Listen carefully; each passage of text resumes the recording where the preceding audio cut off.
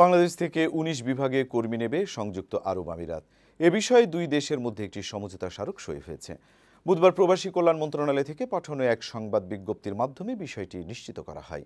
বিজ্ঞপ্তিতে জানানো হয়, বুধবার আরব আমিরাতের স্থানীয় সময় দুপুরে দুই দেশের প্রশাসনিক পর্যায়ে আলাপ আলোচনার পর সমঝোতা স্মারকটি চূড়ান্ত হয়। এতে বাংলাদেশের পক্ষে সই করেন আরব আমিরাতে সফররত প্রবাসী কল্যাণ সচিব ডক্টর নমিতা হালদার।